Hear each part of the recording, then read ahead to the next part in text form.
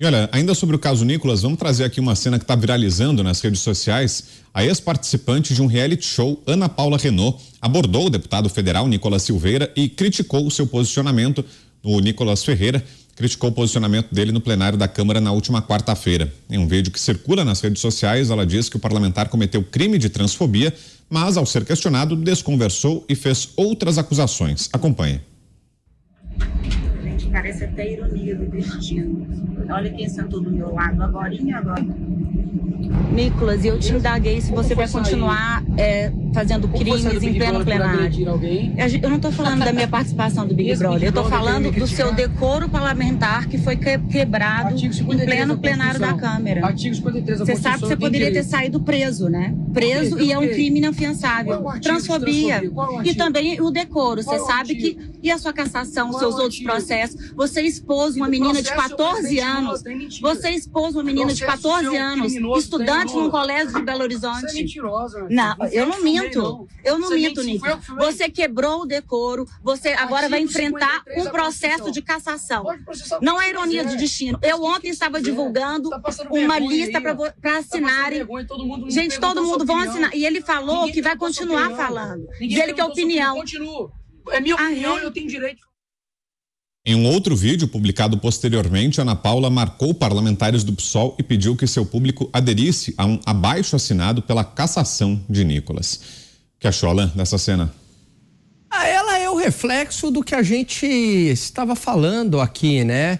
Ela é um reflexo dessa ideologia progressista. Ela perdeu a capacidade de analisar o real de analisar o concreto, a realidade objetiva. Então, a visão de mundo dela é de acordo com uma ótica idealizada, com uma ótica progressista. E ela compra a narrativa. Aonde que houve a transfobia do Nicolas? Aonde? Né? E essa mesma pessoa que filmou o Nicolas é a mesma em determinado momento, quando se filma um, um, alguém de esquerda, alguém do PT, ela vai ser a primeira a, a, a condenar. Então, ela vive num processo de dissonância cognitiva, né?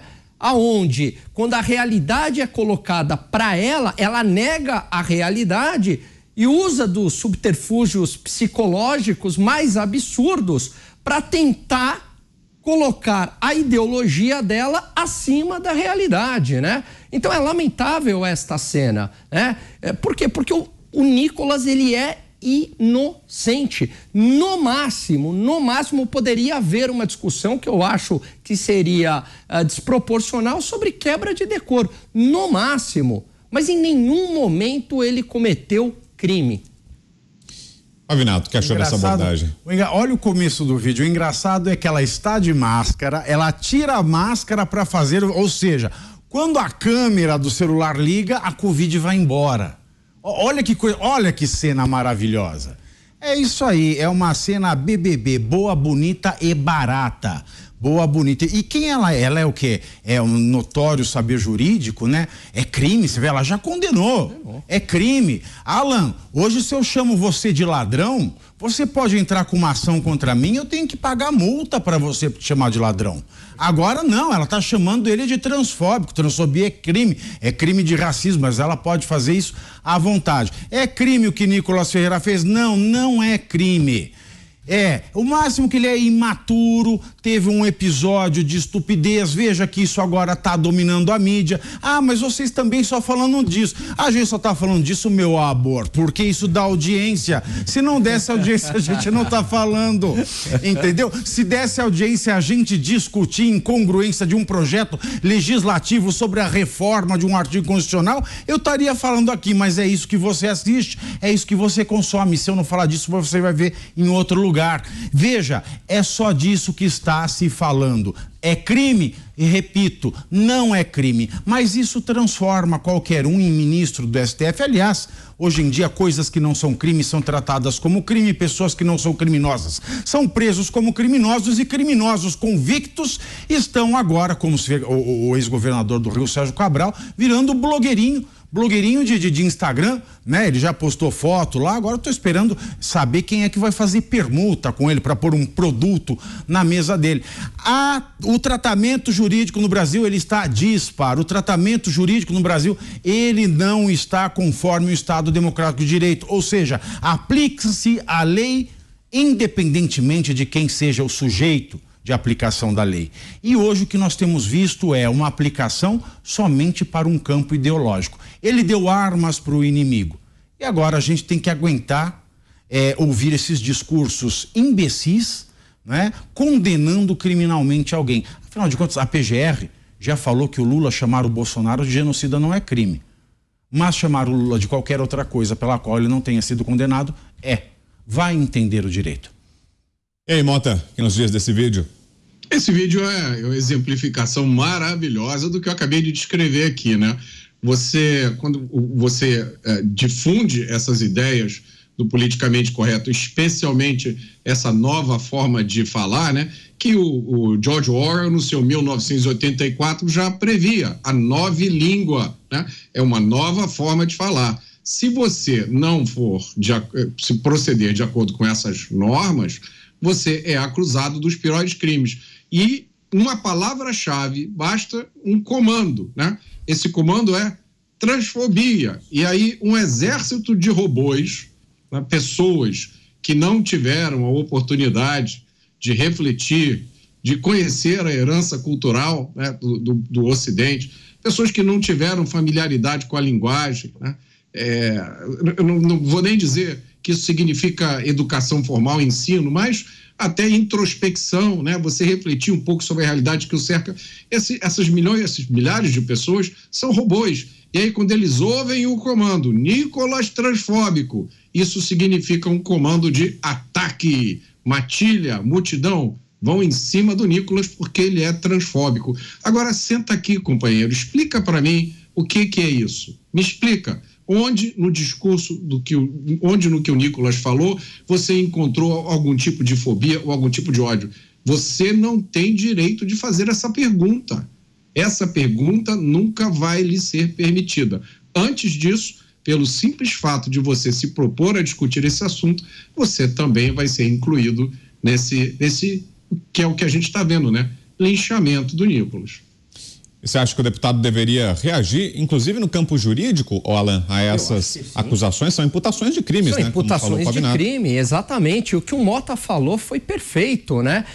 Eu detesto essas expressões vagas, mal definidas, palavras gatilho, que apelam para a emoção, porque elas têm um efeito muito perigoso na sociedade. Elas geram essa histeria coletiva e veja a reação das pessoas. Ai, meu Deus, transfóbico, transfóbico. Ela talvez acredite mesmo que ele seja transfóbico sem ter olhado para a realidade. Igual a ela, tem milhares. Olha o poder que tem essas palavras gatilho. O mesmo ocorreu com genocida, com fascista. As pessoas nem sabem Quais são os significados dessas palavras? Meu Deus é genocida, meu Deus é fascista. E é tudo imaginário, é tudo narrativa. Só que isso gera emoção, só que isso gera histeria. E no caso do transfóbico também, o ponto é que é uma palavra elástica também, mal definida, e tudo pode ser encaixado em transfobia. Né? De repente, é, a, a recusa de um emprego que seria uma transfobia pela pessoa ser trans ao, ao como a gente está vendo ao que o Nicolas fez, que não é transfobia. Mas como a palavra é vaga, ela é mal definida, tudo vira transfobia. Então, a linguagem, como o Mota bem colocou, ela é essencial, porque quando você tem a corrupção da linguagem, e o 1984 mostra isso de maneira antológica, você dominou a sociedade. Pela linguagem, você domina o direito. Pela linguagem, você domina a cultura. Pela linguagem, você domina o comportamento das pessoas. Esse é o ponto. É muito forte a linguagem porque é um pilar da cultura, um pilar muito forte de manipulação e que pode ser usado também como instrumentalização jurídica.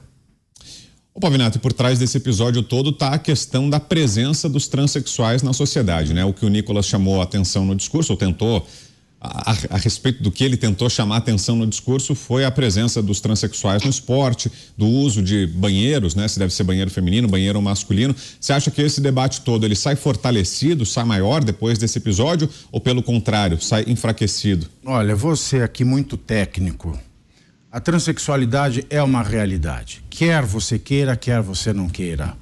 Na arqueologia, na paleontologia, a gente encontra registros de pinturas rupestres de seres humanos com feições femininas e dotes masculinos.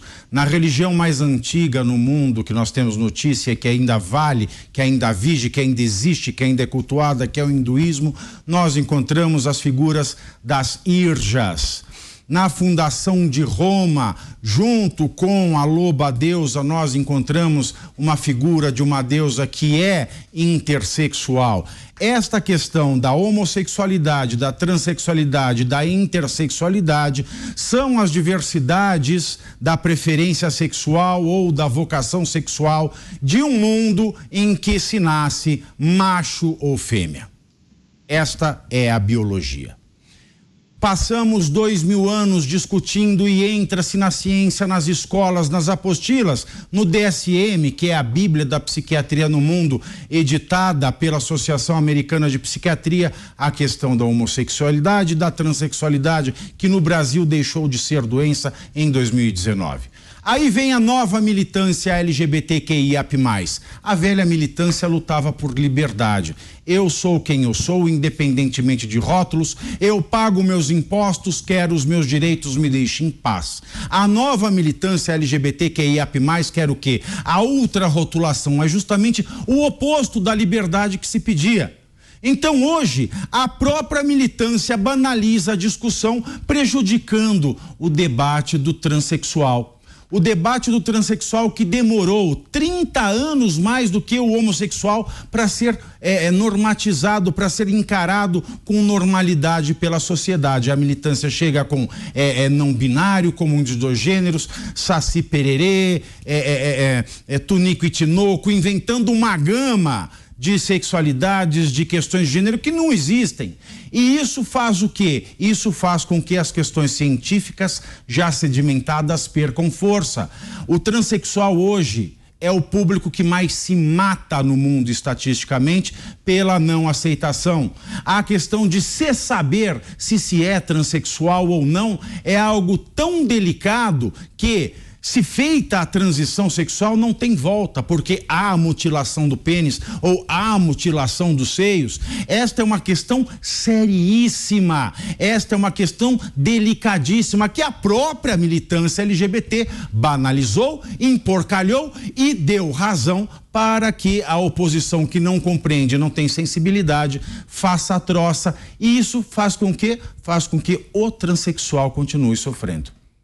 Você concorda, Mota? Pode ser até mais prejudicial à militância, às pessoas que realmente importam, né? Que precisam desse espaço na sociedade, que sofrem com eh, essa discriminação, com essa falta de compreensão da sociedade. Pode ser mais prejudicial a essas pessoas esse tipo de debate, Mota? É evidente. Eu vou repetir: esse ativismo radical não tem absolutamente nada a ver com sexualidade. Isso é um puro exercício de poder por parte de ativistas radicais. No dia que essa bandeira perder a capacidade de chocar, de agredir ao ser usada da forma errada, eles vão buscar outra. Né? Isso está longe, essa questão está longe de ser o problema mais importante do mundo. Não é. O Pavinato tem razão. Ele foi transformado em uma questão urgente, e, e é por isso que a gente está falando dela aqui, quando isso deixou de ser uma questão de defesa dos direitos das minorias, que é justa e própria, e passou a representar uma vontade explícita de agredir os direitos das maiorias. Né? E aí é essa questão aí de você ter homens biológicos competindo em esportes femininos. É difícil entender a quem isso beneficia. Né? É, é, uma resposta óbvia é aos, at, aos ativistas radicais, né? porque eles ganham mídia, eles agora têm o direito de a, a, a agredir quem eles quiserem, Muita, muitos deles conseguem se eleger em cima dessas bandeiras. Eu já dei aqui, vou, vou repetir de novo, o exemplo das estatísticas criminais do Brasil. Dizem que o Brasil é o país que mais mata determinadas minorias. Escolha uma minoria qualquer e o Brasil vai ser o país que mais mata essa minoria. Então, é, o Brasil é o país que mais mata carecas. O país é o, é o Brasil o país que mais mata obesos. Por que existe uma, uma obesofobia no Brasil? Não. É porque o Brasil é o país que mais mata no mundo. Esse deveria ser um dos problemas discutidos diariamente no Congresso Nacional. O tempo que está se perdendo em reagir a, a, a essa fala do Nicolas seria muito melhor empregado se esses deputados se debruçassem sobre o problema da criminalidade. E olha que curioso, façam esse dever de casa que eu estou passando. Peguem os nomes dos deputados que estão atacando o Nicolas, que entraram com processo contra ele no STF, e verifica qual é a postura desses deputados em relação à legislação penal no Brasil acontecem coisas inacreditáveis nesse país. Né? Há pouco tempo atrás aconteceu uma discussão, só para encerrar o meu comentário, sobre se os adolescentes infratores, adolescentes em conflito com a lei, aqui no Rio de Janeiro, teriam direito à visita íntima. É isso mesmo que vocês estão ouvindo. Né? Os menores de 18 anos, que não, não são presos, são apreendidos, estão em ah, ah, sofrendo, recebendo medidas socioeducativas, a discussão foi se eles teriam ou não direito à visita íntima. É nesse ponto que a gente chegou.